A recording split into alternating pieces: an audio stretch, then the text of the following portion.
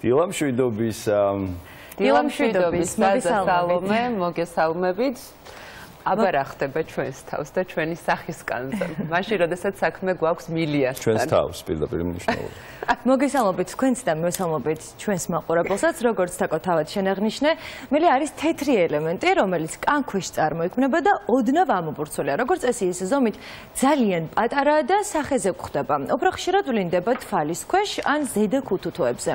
მილიები ნებისმიერ ასაკში შეიძლება წარმოიქმნას როგორც მოზრდილობის პერიოდში, ასევე ახალშობილებში. რა არის ამ თეთრი წერტილების გაჩენისა და გამრავლების მთავარი მიზეზი და როგორი მეთოდებით შეგვიძლია მასთან საბოლოოდ გამკლავება, რა თქმა უნდა, დღეს ჩვენი ტრადიციული რუბრიკის ფარგლებში მე და დერმატოვენეროლოგი ზაზათელია განვიხილავთ დილომშვიდობის კიდევ ერთხელ. დილომშვიდობისა ზაზა, საკმაოდ აქტუალური თემა შეგირჩევიათ. ხო, საკმაოდ ბევრ ადამიანში არის. რა იწვევს ამ პრობლემას, რა წარმოშობს? აი, მოდით გრაფიკზე ვაჩვენოთ აი ჩვენ დაფაზე. ჩვენ ვიცით, რომ არსებობს კანის უჯრედები, კერატინოციტები, ეს არის განახლებადი უჯრედები, ანუ ნახდება, კვდება და შემდგომ კანმა ეგრეთ წოდებული ექსფოლიაციის სახით, ანუ ის უნდა მოიშოროს. ანუ კანი არის განახლებადი ორგანო, მკვდარი უჯრედებს ის იშორებს რეალურად. აი მილიების შემთხვევაში ზუსტად ეს კერატინოციტები, მკვდარი კერატინოციტები კანქვეშ, აი ეს არის კანის ზედაშრე, ასე ვთქვათ, კანქვეშ წარმოქმნიან ეგრეთ წოდებულ ცისტას, რომელშიც გროვდება ზუსტად ეს კერატინი. და ვიზუალურად ჩვენ ვხედავთ აი ესეთ მოთეთრო, მოყვითალო ფერის კანის ზედაპირიდან ამოწეულ ამობურცულ ელემენტებს. პირველ რიგში უნდა აღინიშნოს, რომ ჩვილებში არის ხშირი და ხშირად ის ეშლება სხვადასხვა დაავადებებში, როგორც არის მაგალითად ჩვილბავშთა აკნე. და ასევე მილიარია არის კიდევ ასეთი დიაგნოზი, რომელიც აბსოლუტურად სხვა პრობლემა არის, ეს არის საუფლე ჯირკვლებთან დაკავშირებული პრობლემა.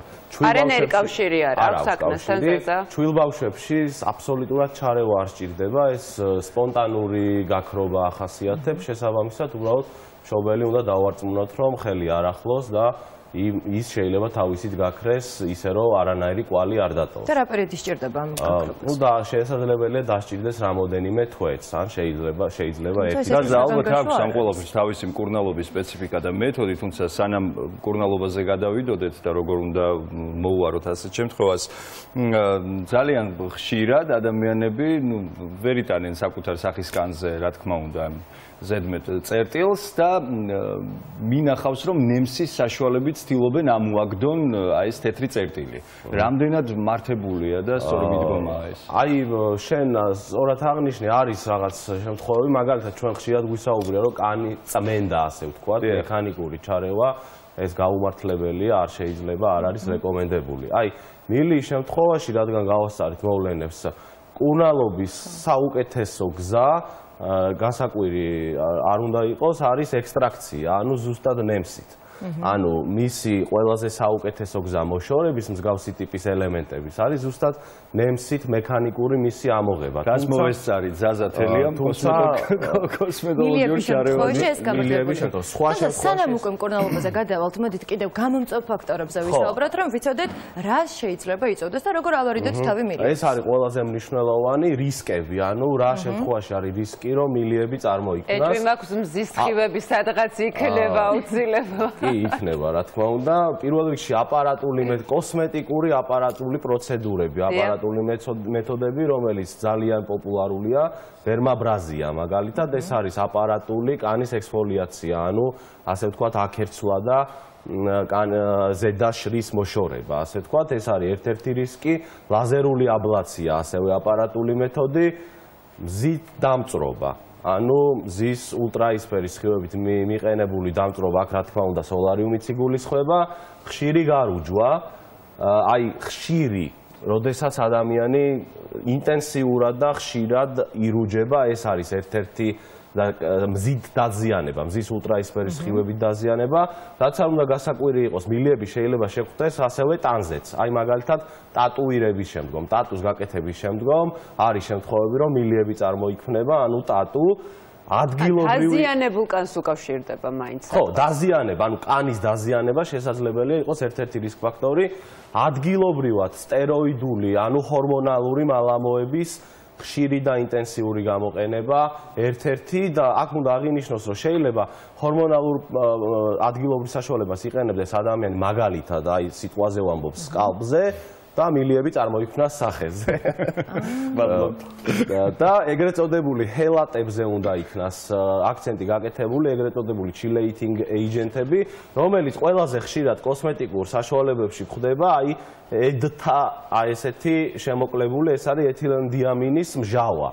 რომელიც ნუ ზოგადად უსაფრთხოა ჰელატები და ერთ ზოგადად აუცილებელი არის ხოლმე რომ შემადგენლობაში იყოს სხვადასხვა პროდუქტების თუმცა თუ ადამიანს მიდრეკილება აქვს მილიების გაჩენისკენ მან თავი უნდა შეიკავოს ისეთი პროდუქტის გამოყენებისგან რომლის შემადგენლობაში არის ეტა იმიტომ რომ ის ითვლება რომ რისკს მატებს მილიების გაჩენის. აი ეს არის რისკები, რაც უნდა იქნას გათვალისწინებული. და როგორ შეგვიძლია რომ შევამციროთ? ახლა შეიძლება რომ ბოლოდ ტატუზე უარი მაგალითად ვერ ვთქვათ, ან თუნდაც გარუჯვაზე. არის თუ არა ამის რაღაცა იდამცავი თუ შეგვიძლია გამოვიყენოთ და ამან შეამციროს, ან აი რა შეიძლება? ნუ როგორ ავარიდოთ თავი? პრევენციის მიზნით, პრევენციის მიზნით რა უნდა ითქვას? ნუ ინტენსიური გარუჯვისგან თავი უნდა ავირიდოთ, რა თქმა უნდა, სოლარიუმზე უარი უნდა ითქვას, ამაზე უკვე ჩამოყალიბ და ასე ვთქვათ, გვისაუბრია და კულტურას და ძალიან კარგია, რომ საზოგადოებაშიც უკვე ჩამოყალიბებულია კულტურა, რომ ზიზდამცავის გამოყენება არის აუცილებელი, არა მარტო ზაფხულის პერიოდში და გარუჯვის დროს, არამედ ყოველთვის, ყველა სეზონზე, რა თქმა უნდა, აი ზიზდამცავის გამოყენება ეს არის ერთ-ერთი პრევენცია. თუ ჩვენ აღვნიშნეთ მკურნალობაზე ექსტრაქცია, ანუ ნემსით, ასევე ადგილობრივი რეტინოიდები, რე რეტინოლი ხო? ძალიან პოპულარულია, ну რეტინოლი არის რეტინოიდის დერივატი, რეტინოიდების გამოყენება, გარეგანი გამოყენების კრემების, გელების სახით და აქ რეტინოიდების შემთხვევაში უნდა აღინიშნოს, რომ რეტინოიდებს ასევე აქვს უნარი ასე მაგალითად თუ ჩვენ მოვახთინეთ ნემსით ექსტრაქცია, ანუ ამოღება მილიების,ახლები რო არ გაჩნდეს, აი შენ რო პრევენცია აღნიშნე, აი რეტინოიდებს თუ გამოვიყენებთ, ეს არის ერთ-ერთი პრევენცია იმისა, რომ ახალი ელემენტები არ იქნას გაჩენილი ჩვენს კანზე. ზაზა შეიძლება ახლა გვიყურებს მაყურებელი, რომელიც ყველა იმ პირობას, რომელიც ჩვენ ჩამოვთვალეთ, იცავს ცალსახად, თუმცა მაინც აწუხებს ეს პრობლემა. შესაძლებელია, რომ მიუხედავად იმისა, რომ ის არ იყოს მზისხივების მუდმივი ზემოქმედების ქვეშ და ასე შემდეგ და ასე შემდეგ, მაინც მიდრეკილება, კი გენეტიკური მიდრეკილება შეიძლება თამაშობდეს როლს, ანუ შეიძლება არც ერთ მათგანს არ მიმართოს ადამიანი, მაგრამ სამწუხაროდ მაინც უჩნდება მილიები. ასეთი რაღაცაც სამწუხაროდ ხდება ხოლმე. და აი რეტინოიდებზე მინდოდა დამემთავრებინა, რომ რეტინოიდი აუცილებლად უნდა იქნას დანიშნული დერმატოლოგის მიერ, ანუ თვით თვით მკურნალობა და თვით გამოყენება რეტინოიდის რეალურად არ შეიძლება. როგორც ყველა სხვა მედიკამენტი. რამდენიმე ელემენტი, როდესაც არის, მაშინ უფრო მარტივია ნემსით ამაღება. თუმცა აი არის ხოლმე ჯგუფურად, მაგალითად, თუნდაც ლოყაზეც, ხო? აი ამ შემთხვევაში რეტინოიდები არის უფრო მეტად ეფექტური, იმიტომ რომ წვრილად ამაღება საკმაოდ რთულია. კარგი შეკითხვა არის, ანუ ყველაზე საუკეთესო გზა, როდესაც ბევრი დაჯგუფებული ერთად არის, იქნება ექსტრაქცია ნემსით, ანუ ნემსით ამაღება და აქ უნდა აღინიშნოს ასე. კოსმეტოლოგის და კი, აქ უნდა აღინიშნოს აუცილებლად ეს უნდა მოხდეს კოსმეტოლოგის მიერ თვით შესაძლებელია 1 მილია თუ არის 1 მილია სახლის პირობებში სტერილური ნემსით მოხდეს რა თქმა უნდა მისი ამოღება მაგრამ რამოდენიმე ერთად თუ არის რა თქმა უნდა კოსმეტოლოგს ჯობია რომ მიუმართოთ რომ კოსმეტოლოგმა მოახდინოს მისი ექსტრაქცია და მისი ექსტრაქციის შემდგომ იმ უბანზე სადაც მილიების წარმოქმნა ფიქსირდება იქნას რეტინოიდი გამოყენებული რომ რეტინოიდმა მოახდინოს ახალი მილიების წარმოქმნის პრევენცია და უფრო გასაგებია დეკორატიული კოსმეტიკა ან იგივე თავის მოულის სხვადასხვა საშუალებები რომელიც ჩვენი დღის რაღაც განუყოფელი ნაწილია ხშირ შემთხვევაში. ამ შემთხვევაში რამდენად თამაშობს როლს? აი იგივე თვალის გარშემო თვალის დატენიანება. რამდენად არის ერთ-ერთი განმაპირობებელი ფაქტორი? ან განმხო პირიქით შესაძლებელია იყოს ჩვენ საუბრობთ პროდუქტებს, მოვლის პროდუქტებზე, ზოგადად რუტინა სახის მოვლის უნდა იყოს ძალიან მარტივი. როგორც წესი სამსაფეხურიანი. მოდი გადავინაცვლოთ და გრაფიკულად ვანახოთ ეს ყველაფერი, იმიტომ რომ აღმოჩნდა რომ ამ კონკრეტულ პრობლემას მილიებს არაერთი ზემოქმედება და თურმე არასწორი ჩვევები იწვევს. ამიტომ მოდი ვნახოთ კიდევ რა არასწორ საფეხურებს გავდივართ ხოლმე ყოველდღიური მოვლის დროს და თუ შეიძლება რომ ვანახოთ პირველი სახის კანის მოვისას თავშებული ხუთი შეცდომიდან პირველი სახეზე სკრაბის გამოყენება. სკრაბის გამოყენება. ნუ თან ხვდებით რომ სკრაბის გამოყენება სახეზე არ შეიძლება ის როგორც კანს აზიანებს, შესაბამისად დაზიანების შემთხვევაში ილის წარმოქმნის ალბათობა იმატებს, სკრაბი არ უნდა იქნას გამოყენებული, ეგრეთ წოდებული მსუბუქი ექსფოლიაციის უნარის მქონე კანის მოვლის პროდუქტები უნდა იქნას გამოყენებული, აი ესეთი უხეში გაწმენდა. აი რა არის ეს მსუბუქი ექსფოლიაციის? მსუბუქზე ჩვენ ხშირად ვისაუბრია და კიდევ ერთხელ გავიმეოროთ, ეს არის მაგალითად ალფა და ბეტა ჰიდროქსი მჟავების შემცველი პროდუქტები, როგორიც არის სალიცილის მჟავა, ის მსუბუქი ესფოლიაციის უნარის მქონეა, გლიკოლის, ლაქტატის მჟავა. როგორც წესი, სამი ყველაზე ხშირად გამოყენება. ანუ ჭადისქვილი არ შეგვიძლია რომ გამოვიყენო. ჭადისქვილი არ უნდა გამოვიყენო. კარგი, და ზუსტად რა სტრაბი არასდროს არ შეიძლება. ანუ სტრაბის გამოყენება თუ საერთოდ აუგრძელებს. საერთოდ რეკომენდებული არ არის გამოყენება. კი ბატონო, მეორე შეცდომა, რასაც ვუშვებთ ხოლმე, აა ეს არის კანის არ დატენიანება. მე სხვადასხვა ხშირად გამოკეთები ამ მსგავს რამ, იმიტომ რომ მოწუხებს ეს საცხი და მიფიქრია, რომ თუ მაგალითად შეიძლება მაკერს არ ვიყენებ, კანი მოდი არ იყოს დატენიანებული და მე არ მოდი აი ესე წავიდე. აი აქ უნდა აღინიშნოს, რატომ ჭირდება პირველ რიგში კანს დატენიანება. პირველ რიგში იმის გამო, რომ დამატენიანებელი საშუალება არა მარტო ატენიანებს, არამედ ის ქმნის ბარიერს, რომ კანი არ დაზიანდეს. ყოველდღიურ ცხოვრებაში, ყოველდღიურ ცხოვრებაში გარემო ფაქტორებით კანი ზიანდება. ჩვენ რომ კანის დაზიანება დავიცვათ, ამიტომ დამატენიანებელი საცხი, დერმატოლოგიური ხაზის, რა თქმა უნდა, პროდუქტი დაგვეხმარება.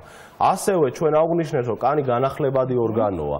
ანუ ეს კერატინოციტები კვდება და შემდგომ კანი იშორებს ამას. დამატენებელ საშუალებებს აქვს უნარი, რომ აღადგინოს ეს კანი და ასევე ეს მკვდარი კერატინოციტებიც მოაშოროს რეალურად, ამიტომ არის ზუსტად საჭირო აუცილებელია რომ დამატენელი გამოვიდეს. შემდეგი საფეხური, რა შეცდომასაც უშევთ ხოლმე. ეს გახლავთ სახის კანის მოვლის ზედმეტი რუტინა. ზედმეტი რუტინა. ეს გულისხმობს ზედმეტი რუტინა. აი ამაზე ხშირად გვისაუბრია ჩვენ. საფეხურის გავლა. ბევრ საფეხურიანი, როგორც აღნიშნეთ, რეკომენდებულია სამ საფეხურიანი მოვლა, ეს არის დასაბანი საშუალების გამოყენება კანის ტიპის მიხედვით, სწორად დამატენიანებელი საცხის და მზის დამცავის გამოყენება. სხვა პროდუქტების ჩართვა რუტინაში არ არის რეკომენდებული, არ არის კარგი, მოდი ესე ვთქვათ. თუ ადამიანის სახეზე მაგალითად იყენებს ბევრ პროდუქტს დღის განმავლობაში. თუ გქონიათ რა რაღაც კონკრეტულმა მეოთხე საფეხურის ჩარევამ ასე ვთქვათ უკეთესი შედეგი მისცათ? გააჩნია რა საფეხურზე არის საუბარი მაგალითად შრატის გამოყენებაზე ხო? შესაძლებელია იქნას. კი ბატონო შრატი გამოყენებული აუცილებლად უნდა დავაკვირდეთ რომ ეს პროდუქტები მით უმეტეს თუ ჩვენ გვაწუხებს პრობლემური კანი და მათ შორის მილიები უნდა დავაკვირდეთ რომ შემადგენლობით იყოს ის არაკომედოგენური რომ ანუ ამან კიდე არ დაახშოს ჩვენი ეს ვიდეოები რომელიც ხდება ხოლმე ჩვენ სოციალურ ქსელში სხვადასხვა თავის თავის მოვლის რუტინის არასწორია იმიტომ რომ მე ხან ჩემთვის ხანდახან საყურებლადაც კი ძალიან ვრცელია ეს ვიდეო. გასაკეთებლად ხო საერთოდ? ალბათ უფრო ინდივიდუალური კანი არის არის ძალიან არის ამაზე ზურა პასუხი არის ამიტომაც გაიზარდა დერმატოლოგებთან მიმართვიანობა პრობლემების სტატისტიკას თუ გადავხედავთ, ზუსტად აი ამ ინფლუენსერების და სხვადასხვა ტიპის ესეთი აგიტაციის გამო სტატისტიკურად თელს მსოფლიოში დერმატოლოგებთან მით უმეტეს განსაკუთრებით სახის კანის პრობლემებით მიმართვიანობა მიმატა. ამიტომ ამით არის ეს პასუხი, რომ ეს არის სამები, როდესაც კარგი, შემდეგი საფეხური თუ შეიძლება ზურა ბოდიში, შემდეგი საფეხური რომ ვნახოთ რა შეცდომას უსვამთ, კანის ტიპის არასწორად განსაზღვრა. აი ძალიან მნიშვნელოვანია. ხშირად არასწორად განსაზღვრავენ კანის ტიპს, ასე მაგალითად, ყველაზე ხშირია, როდესაც მაგალითად არის გრძნობიარე კანი და გრძნობიარე კანის შემთხვევაში თვითონ ადამიანი აღიქვავს მას როგორც მშრალ მშრალ კანად და იყენებს მშრალი კანის მოვლის საშუალებებს. აი როგორ მივხვდეთ მარტივად და მოკლედ რომ აღუხსნათ? გრძნობიარე კანს როგორც წესი ახასიათებს დაჭიმულობის შეგრძნება, წვის შეგრძნება, შეიძლება აკერცულად დაფიქსირდეს ვიზუალურად, ზუსტად ამიტომ ყვება ადამიანი, რომ მას აქვს შრალიკანი, არამედ არადა აქვს რეალურად მგზნობიარე და მგზნობიარე კანი რეაგირებს ყველაფერზე. ეს შეიძლება იყოს ზის ხივი, ცხელი წყლის, ცხელი წყლის გამოყენება, ცხელი შხაპი, ცხელი სასმელი, ცხელი საჭმელი, მწარე და ცხარე საჭმელი. ხიმიანი კანი თუ შეიძლება რამეში რო აგვერიოს?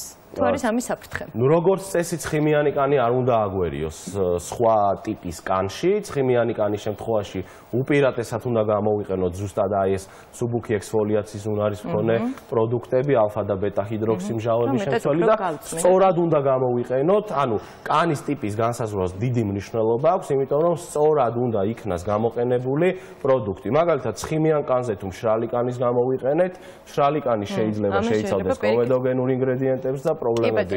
და ბოლო მეხუთე საფეხური ვნახოთ რა შეიძლება იყოს, რასაც რის გამოც უშვებდით შეცდომას. თვალის საცხის აუცილებლობა. ხშირად რომ ვიტანიანებთ საცხით ჩვენს სახეს, მაგრამ ხდება გული, რომ თვალის ხომ არ დავატენიანებთ. პირდაპირ კავშირშია ჩვენს დღევანდელ თემასთან, მილიასთან, იმიტომ რომ მილიები მოგეხსენებათ ყველაზე ხშირად ხდება ნუ პერიორბიტალურ არეზე, ანუ თვალის კუთუთოებზე და ხშირად არის ხოლმე რომ ადამიანები მანდატორულად, ანუ აუცილებლად იყენებენ თვალის მალამოს კრემს, თვალის დამატებებს ცალკე. არ არის აუცილებლობა, თუმცა შეიძლება, რა თქმა უნდა, გამოყენებულ იქნას ცალკე.